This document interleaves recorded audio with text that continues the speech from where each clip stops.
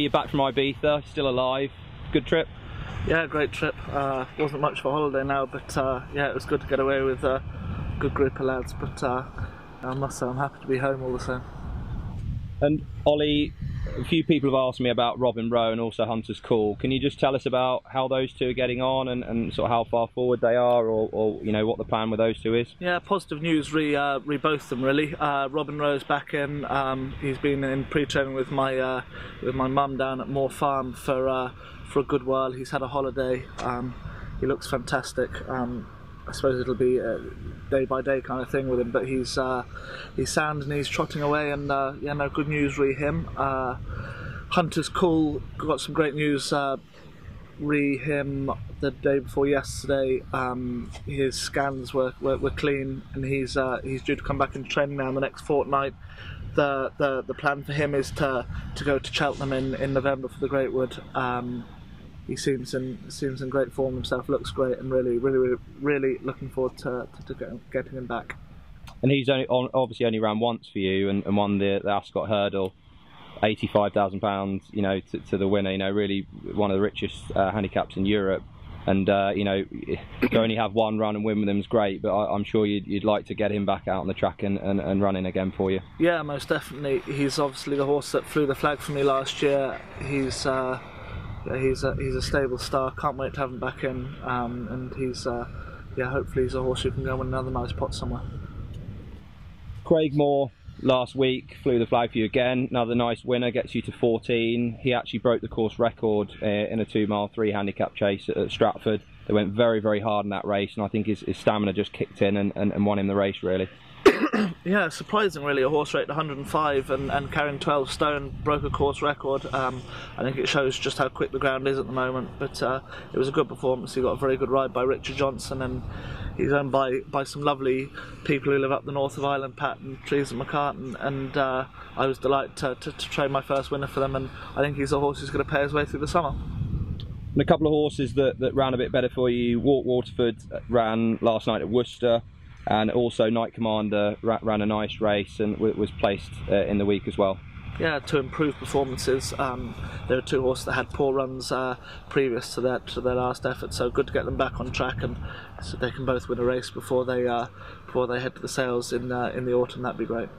And a, and a, couple of horses that were disappointing. We don't usually do this, but I think it's important to, to you know to not always talk about the winners. Auto Ab Chow was very disappointing in the cellar and also Candyberg ran, ran disappointingly up at up at uh, Cartmel. Yeah, Candyberg ran too bad to be true. She put a complete line through that. Um, it was probably silly of me to go up there. The track didn't suit him, and, uh, and nothing really went right for him. Uh, so I, I, I, put a line completely through that. And Ab Chow, he's. Uh, he's come home. He's sound and, and, and absolutely fine himself, but he's uh, he's been retired and he's gone back to to uh, a friend of his owners, and uh, he, he's he was a good horse for Alan King, and unfortunately just lost his way a little bit. But he's in one piece, and he's uh, going to go and enjoy the rest of his, his career doing something else apart from racing. You've six runners today at Uttoxeter. Can you take us through those and, and maybe your, your best chance of a winner? Yeah, uh, I thought my best chance winning was Ayala in the first race. I actually thought looked competitive enough, but uh, she's definitely well capable of winning off 100. Crumpled and Crease runs in the same race. She's going to have to improve dramatically in what she's shown so far. Dr. Maloney had a good first run for me in Market Rasen, but I thought we'd probably struggle to beat Dan's horse. Skilled is coming back after a break. I thought if he was placed, to run a nice race, and I run two in the bumper. We've got Paye. Uh, does everything okay at home. I didn't think this looked the the the, uh, the, the weakest of bumpers. Um, I'd be delighted if he was placed. And this lovely lady, I thought she'd probably outrun her odds of eight or nine to one. She's had a couple of good runs and seems in good form. So I thought Ayala was my best chance to winner, probably followed by this lovely lady. And also, Mizzen Master taking a long trip up to Newcastle tomorrow. He obviously ran a nice race last time. What what would you rate of his chances? Yeah, I thought he'd run well tomorrow. Two miles uh, on a big galloping track will suit him well. Uh, he seems in very good form. I think he'll have come on for his run the last day. I think he's well capable of winning off his mark, and I'd be I'd be hopefully go very close. I actually won the race last year, so hopefully it's a good owner. Banff. Banff, correct. Um, under Jamie Spencer, I believe. Yeah, correct. Good memory and Uttoxeter on Sunday, Newton Abbot Monday. You've obviously got horses in there. A couple few horses in at Wolverhampton and Perth through the week. What what are you likely to run o- over the sort of weekend and early part of next I, week? I think I'll run odds and sods, probably not a whole pile. Cape Icon will probably go to Wolverhampton on Monday. Again, a big learning curve with him. He's come from Clive Cox's, uh, starting him off over seven furlongs. I'd imagine he might want a little bit further. Uh, Ayala has been declared again for Sunday at Uttoxeter, hoping she might win today and might be able to run under a penalty. Um, wishful thinking, as they say. Um, and next week I've odds and sods in at Perth. I might send Mochueka up there for a two mile seven novice hurdle and a bumper horse called uh, Do Bit Society. I don't watch that Love Island, but I believe it's uh, a name that will amuse everyone. Um, so yeah, I may send a couple up to Perth, but apart from that, I, I just thought at the moment it'd be um, a fairly quiet week. And, and next week, I believe we're going to have a look at the facilities.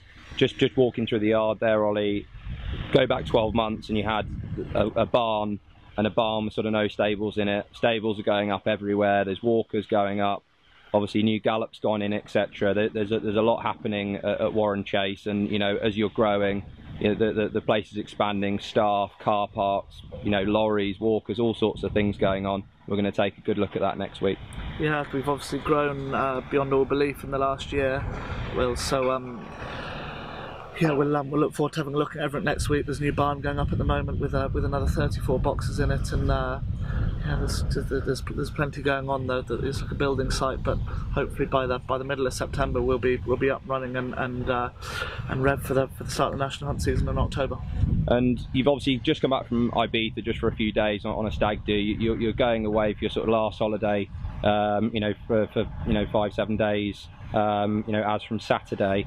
When you're away, obviously you've got a, a huge team of staff, and, and, and Ed Telford does a good job. He's obviously started, you know, even before you were back from Ireland. You know, was here on the yard with with, with the horses, etc. And he obviously does a, great job as, as as assistant as well as sort of Gerard Tomety that's just joined you.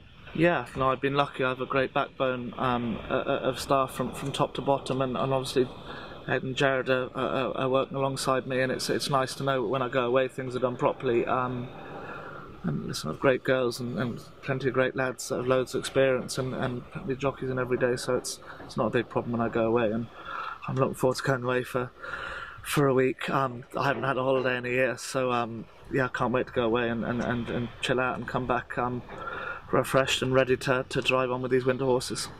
Good luck this week and uh, have have a nice holiday. Great job, thanks very much.